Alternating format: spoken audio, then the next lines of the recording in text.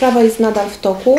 Y, Czekamy na nadesłanie opinii przede wszystkim y, z zakresu toksykologii. Przeprowadzone zostaną, przeprowadzone zostaną badania mechanoskopijne, y, badania biologiczne i dopiero po uzupełnieniu zgromadzonego pełnego materiału dowodowego będą w sprawie podejmowane dalsze czynności procesowe. Tutaj może Pan Naczelnik coś więcej powie. Z uwagi na, na zakrojone dość szerokie badania, również, tak jak Pani Rzecznik wspomniała- mechanoskopijne, również inne, o których tu na obecnym etapie, z uwagi na dobre postępowanie, jak powiedziałem, no nie chciałbym ujawniać tych okoliczności. Na pewno to postępowanie jest prowadzone dynamicznie, no i, i ma na celu wyjaśnienie wszelkich okoli- okoliczności, również oczywiście stanu zdrowia psychicznego tak, sprawcy, bo to jest istotne, Państwo znacie okoliczności, przynajmniej w części tej sprawy, no zachowanie jest, jest takie, które no, z uwagi na, na charakter, na osobę pokrzywdzonego no, musi być wszechstronnie wyjaśnione również pod kątem ewentualnej poczytalności bądź nie sprawcy.